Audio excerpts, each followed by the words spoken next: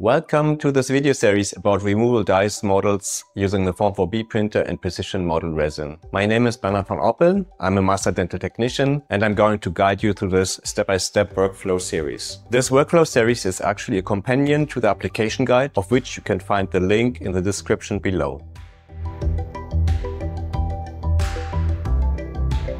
So let's get started. I want to give you an overview over this video series. We're going to create removable dies models using the Form 4B and Precision Model Resin.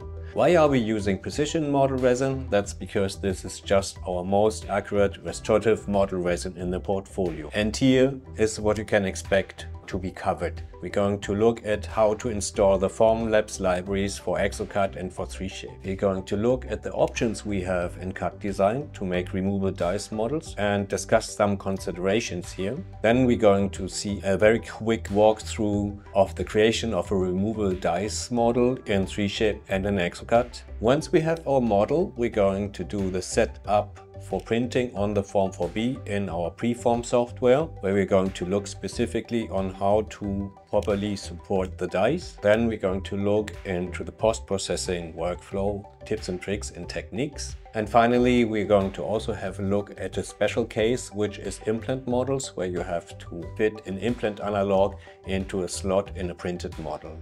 By the end of this video series, this is what you're going to be able to create. This is just an example created in Exocad and you see that we have three different dies. All these dies have different diameters, different insertion axes and different lengths, which makes it very difficult normally to make these dies all work fine.